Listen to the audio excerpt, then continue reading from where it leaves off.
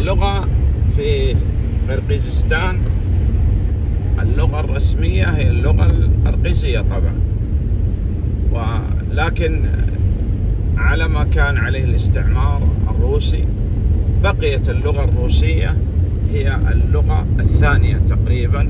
حتى كثير من الدعايات الإعلانات اللوح اللوحات في الطرق كلها باللغة الروسية. المستعان